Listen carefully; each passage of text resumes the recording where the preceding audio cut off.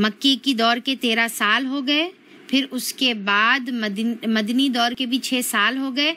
छः साल के बाद ये अहकाम नाजिल हो रहे हैं। तो इससे क्या बात समझ में आती कि अल्लाह ताला अहकाम ये मक्की दौर में शुरू में नहीं दे दिए बल्कि मक्की दौर में पूरा अल्लाह ताला ईमान को डेवलप करे ईमान को बिल्ड करे। जैसा इससे पहले भी हम लोग देखे थे ना कि बुनियाद मज़बूत करे उसके बाद फिर ये डेकोरेशन की चीज़ें हैं। तो जब हमारी बुनियाद मज़बूत हो जाएगी तो उसके बाद फिर जब अल्लाह ताला के जब अहकाम आएँगे करेंगे तो उस वो अहकाम के ऊपर अमल करने के लिए इंसान को मुश्किल नहीं होगा। इंसान खुश, खुशी और बरजामंदी के साथ वो अहकाम को ले लेगा और उसके बाद वो सवाल भी नहीं करेगा और उसको कोई चीज़ गलत भी नहीं दिखेगी। हर चीज़ अल्लाह ताला की हिकमत उसको समझ में आएगी। हर चीज़ जो है समझ में आ जाएगी कि ये हमारे लिए बेहतर है हमारे लिए बेस्ट है इसके अंदर ज़रूर हिकमत है। अगर हमको समझ में नहीं आ रहा तो भी ज़रूर इसके अंदर कोई छुपी हुई हिडन जो है अल्लाह ताला की जो है भलाई हमारे लिए है। दुनिया में नहीं तो नहीं, आखिरत में तो कैसा भी भलाई है, ये एहसास हमारे अंदर पैदा होता है और हम बड़ी ही खुशी से उसको ले लेते हैं। ठीक है?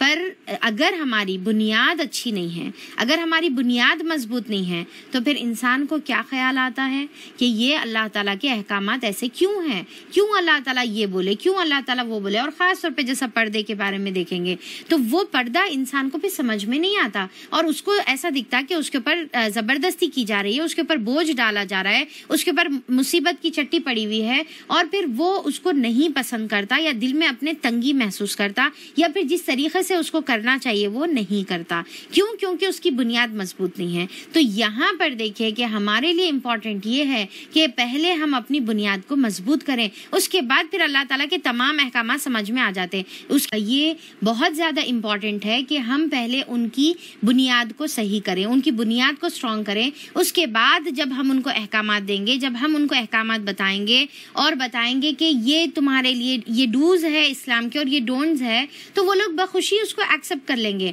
हम ये गलती करते हैं कि हम बच्चों को, बचपन से उनकी बुनियाद को मज़बूत नहीं करते, कभी दीन नहीं बताते, कभी अल्लाह की मोहब्बत नहीं बताते, कभी आखिरत का तस्वुर उनके अंदर पैदा नहीं करते। रसूल सल्लल्लाहु अलैहि वसल्लम की इतात हमारे अंदर क्या मायने रखती है, हम वो कभी नहीं बताते। उसके बाद जब बच्ची बारह, तेरह साल की हो जाती है, पंद्रह साल की हो जाती है तो फिर हम उसके ऊपर इम्पोज करना शुरू कर देते कि भाई तुम अब बड़े हो गए, अब तुम्हारे दुपट्टा लेना है। अब तुम बड़े हो गए, तुम्हारे को जो है ऐसा, ऐसे कपड़े पहना है, या तुम अब बड़े हो गए, तुमको अब बुरखा पहनना पड़ेगा, तुमको हिजाब करना पड़ेगा, तुमको नकाब करना पड़ेगा। तो उसके बाद वो बच्ची को ऐसा लगता है कि मैं क्यों बड़ी हो गई? मेरे ऊपर तो ये तो बौछाड़ हो जा रही एक थी आज़ादी की ज़िंदगी और फिर जो है अब ये आज़ादी की ज़िंदगी जाकर ये मेरे ऊपर इतनी ज़बरदस्ती और मेरे को बुरखा पहनाया जा रहा। तो फिर अब वो ये काम करती है कि वालदेन की ज़बरदस्ती से बुरखा पहन तो लेती है, पर बुरखे की जो हकीकत है वो उसको समझ में नहीं आती। उसकी क्या मकसद है वो फिर उसको जो है समझ में नहीं आता। वो समझती है कि ये हमारी सोसाइटी का तरीका है, सारे लोग करते हैं तो अब हम भी जो है, बस हमको ये करना है, चाहे खुशी से करो या नहीं करो। तो फिर अब वो मौके की तलाश में रहती कि कब ये मुसीबत उसके ऊपर से हट जाए। तो अब यहाँ पर ये है कि जिस तरीके से जब वो कॉलेज जाती है तो फिर वहाँ पर मौके ढूंढती है अपनी मनमानी करने के लिए, या शादियों में अपनी मनमानी करती है, या फिर बाज़ लोग तो ऐसे होते हैं कि बस निकाह की देर होती है, शादी होते साथ ही तमाम वो अपने वालदेन के, अपने अब्बू के अहकाम से वो बाहर निकल जाती है और निकल कर अपनी मनमानी करना शुरू कर देती है। क्यों?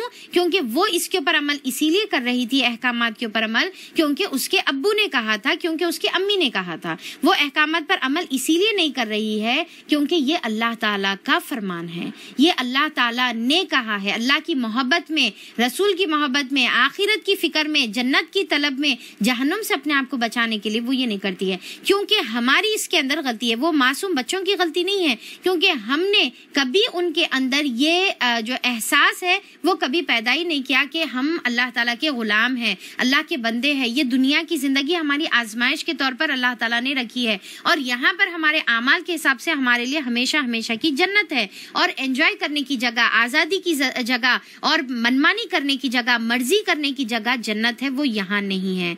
तो उसके बाद फिर ये सेंटेंसेस जो है अपने मुँह से नहीं निकल सकते कि मेरा जिसम है और मेरी मर्ज़ी है, मैं जो चाहे वो करूँ, ठीक है? तो यहाँ पर फिर ये बात का सवाल पैदा ही नहीं होता। जैसे साहबा इकराम को देखेंगे, ठीक है? अभी हम लोग सूर्य नूर पढ़ रहे और सूर्य नूर का हम लोग बैकग्राउंड देख रहे